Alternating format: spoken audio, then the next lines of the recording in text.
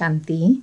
आज प्यारे बाप दादा के साकार ईश्वरीय मधुर महावाक्य हैं 18 जून 2024 आज की मुरली के सार में बाबा ने फूलों का साक्षात्कार कराते हुए विजुअलाइज कराते हुए कहा कि बच्चों को ऐसा खुशबूदार फूल बनना है। बच्चे जानते हैं, पहले हम बने थे। कोई गुलाब के फूल, कोई मोतिये के फूल, अथवा कोई हीरे भी बने थे। अब फिर बनना है। बाबा कहे, अभी तुम सच सच हीरे मोती बनते हो, फिर सच्चे में सब गुण चाहिए। बाबा कहे, एक तो पढ़ना है, दूसरा अवगुणों को निकालना है। बच्चों को अंधों की लाठी बन बाप का परिचय देना है। साथ में कहा, जितने जिसमें गुण है, उतना औरों को भी दान दे, आप समान बना सकते हैं। इसलिए बाबा कहते हैं, बच्चे, अपना पोता मेल रखो, अपने गुणों का। हमारे में कोई अवगुण तो नहीं है। हम कितने गुणवान बने हैं। फिर कहा, जब किसी को बाबा का परिचय देते हैं तो पहले पहले बाबा की महिमा करनी है। फिर बुद्धि में बिठाना है, हम ईश्वरीय मत पर हैं। ईश्वर ने कहा है hear no evil see no evil talk no evil फिर अटेंशन दिलाया कि कोई भी उल्टी चलन चलते हैं तो बाप का नाम बदनाम करते हैं। देह अभिमान वाले की एक्टिविटी ही अलग होंगी। देखेंगे ऐसी एक्टिविटी है तो फिर जैसे सब पर कलंक लग जाता है। तो गोया बाप की निंदा कराते हैं। कैरेक्टर्स बहुत अच्छे चाहिए। बाबा एक एक बच्चे को बैठ देखते हैं। इसमें क्या खामी है जो निकालनी चाहिए? बाप की नज़र एक एक के गुणों पर पड़ेंगी। बाबा उनको प्यार करते हैं। फिर कहा, बाप कहते रहते हैं, आपे ही करे सो देवता, कहने से करे वह मनुष्य। जो कहने से भी न करे, वह आपे समझ जाए। और अटेंशन दिया। कि अवगुण बहुत निंदा कराते हैं, मनुष्यों को वहम पड़ता है, भगवान इनको पढ़ाते हैं, वह कैसे इनको पढ़ाएँगे, इनकी चलन तो देखो कैसी है। और साथ में कहा कि टाइम बहुत कम है, कल भी शरीर छूट सकता है, बाप की याद नहीं रहेंगी तो अंतकाल क्या स्थिति रहेंगी। सुनते हैं प्यारे बाप दादा के इन अनमोल मधुर महावाक्यों को विस्तार से। आज बाबा कहे, मीठे बच्चे अवगुणों को निकालने का पूरा पुरुषार्थ करो। जिस गुण की कमी है, उसका पोता मेल रखो। गुणों का दान करो तो गुणवान बन जाएँगे। आज बाबा ने मुरली से प्रश्न पूछा, गुणवान बनने के लिए कौन सी पहली पहली श्रीमत मिली हुई है? उत्तर में बाबा ने दो श्रीमत बताई। बाबा कहे, मीठे बच्चे, गुणवान बनना है।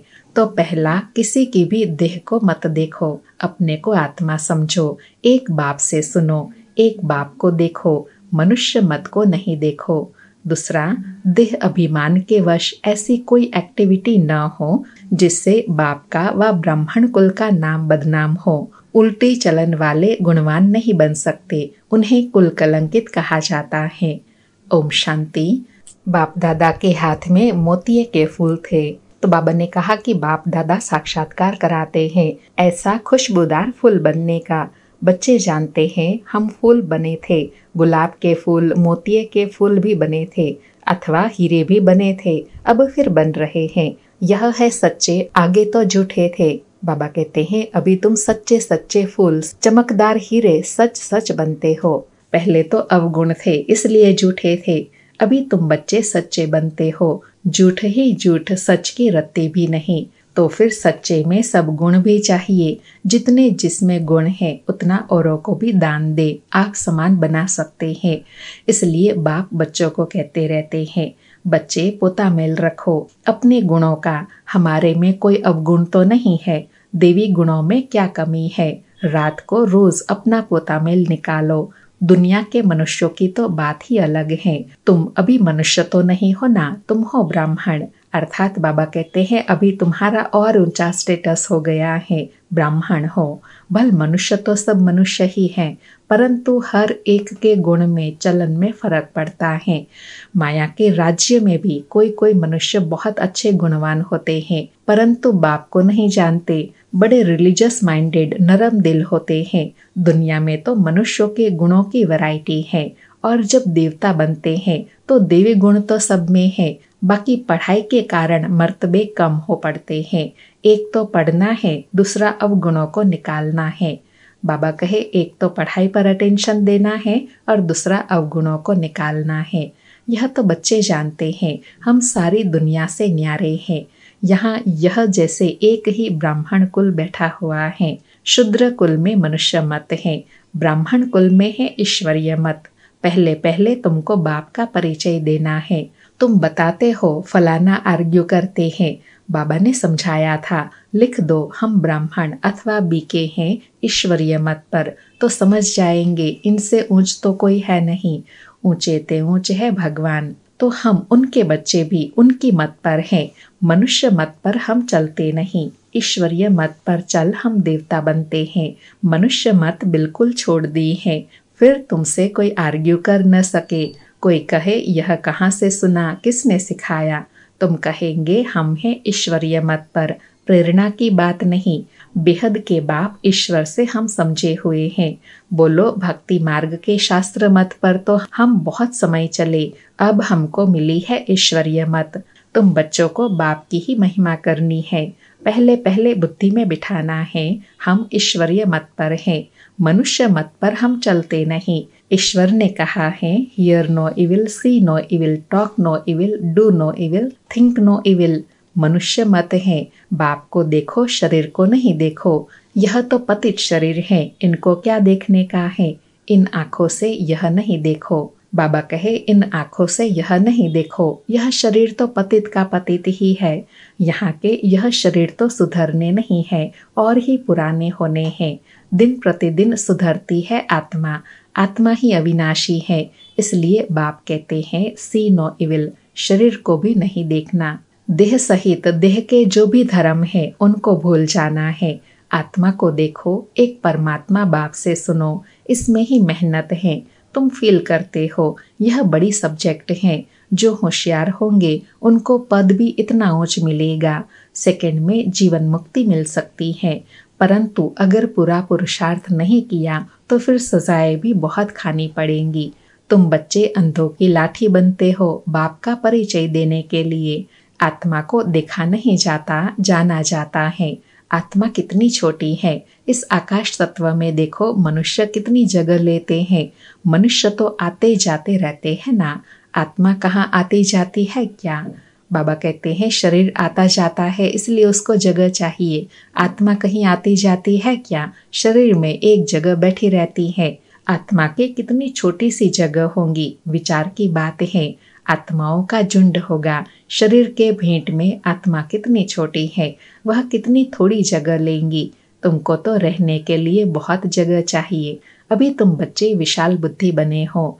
बाप नई बातें समझाते हैं नई दुनिया के लिए और फिर बताने वाला भी नया है। मनुष्य तो सबसे रहम मांगते रहते हैं। अपने में ताकत नहीं है जो अपने पर रहम करे। तुमको तो ताकत मिलती है। तुमने बाप से वर्षा लिया है और कोई को रहम दिल नहीं कहा जाता है। मनुष्य को कभी देवता नहीं कह सकते हैं। रहम दिल एक ही बाप है जो मनुष्य को देवता बनाते हैं। इसलिए कहते हैं परम पिता परमात्मा की महिमा अपरम अपार है, उनका पारावार नहीं। अर्थात उनकी महिमा जितनी करे उतनी कम है। अभी तुम जानते हो उनके रहम का पारावार नहीं। बाबा जो नई दुनिया बनाते हैं, उसमें सब कुछ नया होता है। मनुष्य, पशु, पक्षी सब सतो प्रधान होते हैं। बाप ने समझाया है, तुम ऊंच बनते हो तो तुम्हारा फर्नीचर भी ऐसा ऊंच ते ऊंच गाया हुआ है। बाप को भी कहते हैं, ऊँचे ते ऊँचा, जिससे विश्व की बादशाही मिलती है। बाप साफ़ कहते हैं, हम हथेली पर बहिष्त ले आता हूँ। वो लोग हथेली से केसर आदि निकालते हैं। यहाँ तो पढ़ाई की बात है। यह है सच्ची पढ़ाई।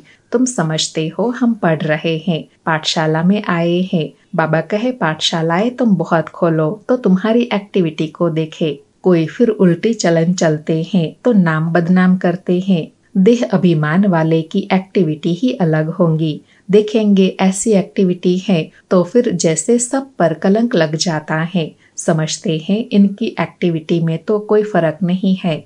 तो गोया बाप की निंदा कराई ना टाइम लगता है, सारा दोष उस पर आ जाता है।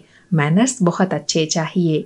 तुम्हारे कैरेक्टर्स बदलने में कितना टाइम लगता है? तुम समझते हो कोई कोई के कैरेक्टर्स बहुत अच्छे फ़र्स्ट क्लास होते हैं। वह दिखाई भी पड़ेंगे। बाबा एक एक बच्चे को बैठ देखते हैं। इसमें क्या खामी है जो निकालनी चाहिए? एक एक की जाँच करते हैं। खामियाँ तो सब में है। तो बाप सबको देखते रहते हैं। रिज़ल्ट देखते रहते हैं। बाप का तो बच्चों पर लव रहता है ना। बाबा कहे, बाबा का बच्चों पर प्यार है, इसलिए बाबा बच्चों की कोई कमी देख नहीं सकते हैं, इसलिए गुणवान बनाने का पुरुषार्थ कराते हैं। जानते हैं, इनमें यह खामी है, इस कारण यह इतना ऊंच पद पा नहीं सकेंगे। अगर खामियाँ नहीं निकली तो बड़ा मुश्किल है, देखने से ही मालूम पड़ जाता है। यह तो जानते हैं, अभी टाइम पड़ा है एक एक की जाँच करते हैं। बाप की नज़र एक एक के गुणों पर पड़ेंगी। पूछते हैं, तुम्हारे में कोई अवगुण तो नहीं है? बाबा के आगे तो सच बता देते हैं। कोई कोई को देह अभिमान रहता है तो नहीं बताते हैं। बाप तो कहते रहते हैं, आपे ही करे सो देवता। कहने से करे वह मनुष्य। जो कहने से भी न करे, वह डेश डेश आपे ही समझ जाओ। बाबा कहते रहते हैं, जो भी खामियाँ हैं इस जन्म की, वह बाप के आगे आपे ही बताओ। बाबा तो सबको कह देते हैं, खामियाँ सर्जन को बतानी चाहिए। शरीर की बीमारी नहीं, अंदर की बीमारी बतानी है। तुम्हारे पास अंदर में क्या क्या आसुरी ख्यालात रहते हैं तो इस पर बाबा समझाएँगे। बाबा कहे, बताएँगे तो समझाएँगे। इस हालत में तुम इतना ऊंच पद नहीं पा सकेंगे। जब तक अवगुण निकले, अवगुण बहुत निंदा कराते हैं। मनुष्य को वहम पड़ता है, भगवान इनको पढ़ाते हैं। भगवान तो नाम रूप से न्यारा है, सर्वव्यापी है। वह कैसे इनको पढ़ाएँगे? इनकी चलन कैसी है? यह तो बाप जानते हैं, तुम्हारे गुण कैसे फ़र्स्ट क्लास होने चाहिए? अवगुण छिपा देंगे तो कोई इतना तीर नहीं लगेगा। इसलिए जितना हो सके अपने में अवगुण जो है, उनको निकालते जाओ। नोट करो, हमारे में यह यह खामी है तो दिल अंदर में खाएँगी। घाटा पड़ता है तो दिल खाती है। व्यापारी लोग अपना खाता रोज निकालते हैं। आज कितना फ़ायदा हुआ, रोज का खाता देखते हैं। यह बाप भी कहते हैं, रोज अपनी चलन देखो, नहीं तो अपना नुकसान कर देंगे। बाप की पत इज़्ज़त गवा देंगे। गुरु की निंदा कराने वाले ठौर न पाए। देह अभिमानी ठौर नहीं पा सकेंगे, अर्थात ऊंच पद नहीं पा सकेंगे। देही अभिमानी अच्छी ठौर अच्छा पद पाएँगे। देही अभिमानी बनने के लिए ही सब पुरुषार्थ करते हैं। दिन प्रतिदिन सुधरते जाते हैं। देह अभिमान से जो अकर्तव्य होते हैं, उनको काटते रहना है। देह अभिमान से पाप ज़रूर होता है। इसलिए देही अभिमानी बनते रहो। यह तो समझ सकते हो, जन्मते ही राजा कोई होता नहीं। देही अभिमानी बनने में टाइम लगता है ना। यह भी तुम समझते हो। अभी हमको वापस घर जाना है। बाप के पास बच्चे आते हैं। कोई छह मास बाद आते हैं, कोई आठ मास बाद भी आते हैं।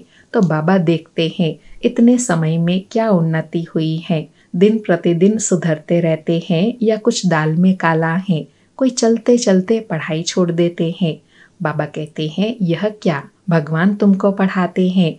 भगवान भगवती बनाने, ऐसी पढ़ाई तुम छोड़ देते हो। अरे, वर्ल्ड गॉड फादर पढ़ाते हैं, इसमें एबसेंट। माया कितनी प्रबल है। बाबा कहते हैं, कई बार बाबा को बच्चों को देखकर वंडर लगता है। माया कितनी प्रबल है जो हरा देती है। फ़र्स्ट क्लास पढ़ाई से तुम्हारा मुख मोड़ देती है। बहुत हैं जो चलते रहते हैं, फिर पढ़ाई को लात मार देते हैं। यह तो तुम समझते हो। अब हमारा मुँह है स्वर्ग तरफ़। लात है नर्क तरफ़ तुम हो संगम योगी ब्राह्मण, यह पुरानी रावण की दुनिया है। हम वाया सुखधाम शांति धाम तरफ़ जाएँगे। बच्चों को यही याद रखना पड़े, टाइम बहुत कम है। कल भी शरीर छूट सकता है, बाप की याद नहीं होंगी। तो अंत काल फिर जैसी स्थिति वैसा पद। बाप समझाते तो बहुत हैं। यह सब गुप्त बातें हैं, नॉलेज भी गुप्त है। यह भी जानते हैं, कल्प पहले जिसने जितना पुरुषार्थ किया है, वही कर रहे हैं। ड्रामा अनुसार बाप ही कल्प पहले मुआफिक समझाते रहते हैं। इसमें फ़र्क नहीं पड़ सकता। बाप को याद करते रहो तो तुम्हारे विक्रम विनाश हो जाएँगे। सजा नहीं खानी चाहिए। बाबा कहे, सजा नहीं खानी चाहिए, नहीं तो पद कम हो जाएगा। बाप के सामने सजाए बैठ खाएँगे तो बाप क्या कहेंगे? तुमने साक्षात्कार भी किया है, उस समय माफ़ नहीं कर सकते। इन द्वारा बाप पढ़ाते हैं तो इनका ही साक्षात्कार होगा। इन द्वारा वहाँ भी समझाते रहेंगे। इन ब्रह्मा द्वारा वहाँ भी समझाते रहेंगे। तुमने यह यह किया, फिर उस समय बहुत रोएँगे, चिल्लाएँगे, अफसोस भी करेंगे। बिगर साक्षात्कार सजा दे न सके। इसलिए बाबा कहते हैं, जो कहते हैं ना, ट्रिब्यूनल बैठते हैं, वहाँ बाबा समझाएँगे, तुमने यह यह किया, उसकी यह सजा है। कहेंगे, तुमको इतना पढ़ाते थे, फिर ऐसे ऐसे काम किए, तुम भी समझते हो, रावण की मत पर हमने कितने पाप किए हैं। पूज्य से पुजारी बन पड़े हैं, बाप को सर्वव्यापी कहते आए, यह तो पहले नंबर की इंसल्ट है, इनका हिसाब किताब भी बहुत है, बाप उल्हा ना देते हैं तुमने अपने को कैसे चमाट मारी है? भारतवासी ही कितना गिरे हैं? बाप आकर समझाते हैं, अभी तुमको कितनी समझ मिली है? सो भी नंबरवार समझते हैं ड्रामा अनुसार। आगे भी ऐसे ही इस समय तक के क्लास की यह रिज़ल्ट थी। बाबा कहते हैं, ड्रामा ऐसा हु चलता रहता है सेम रिज़ल्ट है। बाप बताएँगे तो सही ना? तो बच्चे अपनी उन्नति करते रहे। माया ऐसी है जो देही अभिमानी रहने नहीं देती है। यह बड़ी सब्जेक्ट है। अपने को आत्मा समझ बाप को याद करो तो पाप भस्म हो जाएँगे। अच्छा मीठे मीठे सिकिलधे बच्चों प्रति मात पिता बाप दादा का याद प्यार और गुड मॉर्निंग रूहानी बाप की रूहानी बच्चों को नमस्ते। हम रूहानी बच्चों की रूहानी मात पिता बाप दादा को याद प्यार गुड मॉर्निंग और नमस्ते नमस्ते। सारी मुरली से धारणा के लिए सार हैं। पहला, देह अभिमान में आने से पाप ज़रूर होते हैं। देह अभिमानी को ठोर नहीं मिल सकती, इसलिए देही अभिमानी बनने का पुरुषार्थ करना है। कोई भी कर्म बाप की निंदा कराने वाला न हो। दूसरा, अंदर की बीमारियाँ बाप को सच सच बतानी है। अवगुण छिपाने नहीं है। अपनी जाँच करनी है कि मेरे में क्या क्या अवगुण है। पढ़ाई से स्वयं को गुणवान बनाना है। आज बाबा ने वरदान दिया, हद की रॉयल इच्छाओं से मुक्त रहे। सेवा करने वाले निस्वार्थ सेवाधारी भव। हद की रॉयल इच्छाओं से मुक्त रहे सेवा करने वाले निस्वार्थ सेवाधारी भव। स्पष्टीकरण है, जैसे ब्रह्मा बाप ने कर्म के बंधन से मुक्त न्यारे बनने का सबूत दिया, सिवाय सेवा के, स्नेह के और कोई बंधन नहीं। सेवा में जो हद की रॉयल इच्छाएँ होती हैं, वह भी हिसाब किताब के बंधन में बांधती है। सच्चे सेवाधारी इस हिसाब किताब से भी मुक्त रहते हैं। जैसे देह का बंधन, देह के संबंध का बंधन है, ऐसे सेवा में स्वार्थ यह भी बंधन है। इस बंधन से वह रॉयल हिसाब किताब से भी मुक्त, निस्वार्थ सेवाधारी बनो। आज बाबा ने निस्वार्थ सेवाधारी का भावार्थ बताया कि जो हद की इच्छाएँ होती हैं, वो हद की इच्छाएँ भी स्वार्थ है और स्वार्थ बंधन बांधता है। इसलिए बाबा कहते हैं, ना देह ना देह के संबंध में, न सेवा में कोई भी बंधन न हो, निस्वार्थ सेवा करनी है, जिसका ही फल मिलता है। आज का स्लोगन है, वायदों को फ़ाइल में नहीं रखो, फाइनल बनकर दिखाओ। वायदों को फ़ाइल में नहीं रखो, फाइनल बनकर दिखाओ। आज 18 जून का अव्यक्त इशारा है, इशारे का लक्ष्य है कर्म योगी बनो। आज बाबा ने लक्ष्य दिया, लास्ट आते भी फास्ट जाने का सहज साधन है, सदा कर्म योगी बनकर रहना। कर्म भी करो और याद में भी रहो। कर्म में इतना बिज़ी न हो जाओ, जो अपना ओरिजिनल स्वरूप भी विस्मृति में आ जाए। अपनी आत्मिक स्थिति में रहकर शरीर का आधार लो, कर्म इंद्रियों से कर्म कराए। कर्म पूरा हुआ, न्यारे हो गए, यही कर्म योग की स्टेज सहज कर्मातीत बना देंगी। जब चाहे कर्म में आए और जब चाहे न्यारे हो जाए। आज बाबा ने लास्ट सो फास्ट जाने की विधि बताई, कर्म योगी बनकर कर्म करना और उसके लिए अभ्यास बताया कि जब चाहे कर्म इंद्रियों का आधार लेकर कर्म करे और जब चाहे कर्म इंद्रियों से न्यारे हो, कर्म योगी बन जाए। इसी स्थिति से कर्मातीत अवस्था सहज बन जाएँगी और उसके लिए सारे दिन के लिए तीन समान की स्मृति में रहना है। पहला हम बाप दादा की छत्र छाया के नीचे हैं। बाप दादा का वरदानी हाथ हमारे सिर पर है। याद की यह छतरी सबसे बड़ी सेफ्टी का साधन है। दूसरा स्वमान है, मैं आत्मा उस सर्वशक्तिमान बाप के साथ कंबाइंड हूँ तो उनकी मदद का सदा अनुभव होता रहेगा। और तीसरा स्वमान है करावन हार करा रहा है मैं आत्मा निमित करनहार बन कर्म कर रही हूँ। यह स्मृति निमित और निर्माण चित बना देंगी। सदा हल्कापन का अनुभव करेंगे। अच्छा ओम शांति। शुक्रिया, बाबा, शुक्रिया।